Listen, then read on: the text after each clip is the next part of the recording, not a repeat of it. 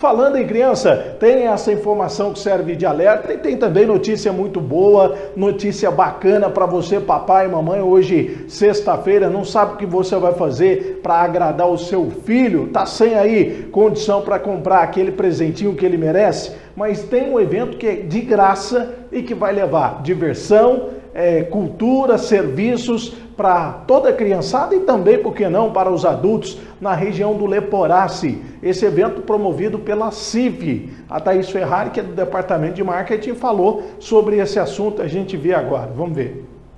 As crianças terão acesso gratuito a brinquedos, pintura de unhas e corte de cabelo infantis, oficina de artes, além de aferição de pressão e recolhimento de currículos para o Acif Empregos. Teremos também pipoca e picolé para a criançada. A CIF tem como objetivo levar a cultura, lazer e bem-estar para a população, movimentar o comércio e aproximar a associação da comunidade a cada um desses eventos que realizamos.